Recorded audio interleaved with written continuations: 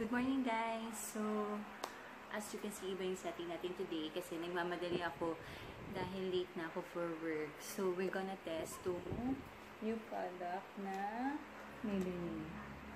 Asa na yun? yun, nandito na yung mga things ko at lahat. So, ito yun.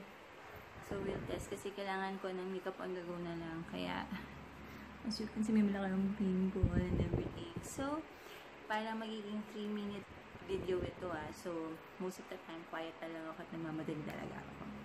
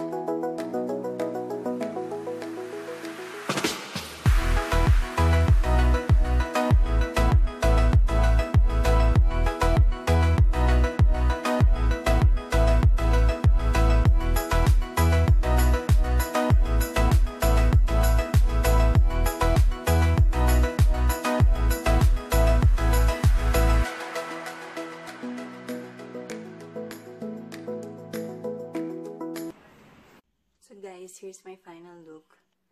Okay naman siya. Hindi ganun, hindi ganun ka full coverage pero it's okay na. So guys, I, I really have to go. Bye! Bye-bye, kuya. Bye-bye, ma'am.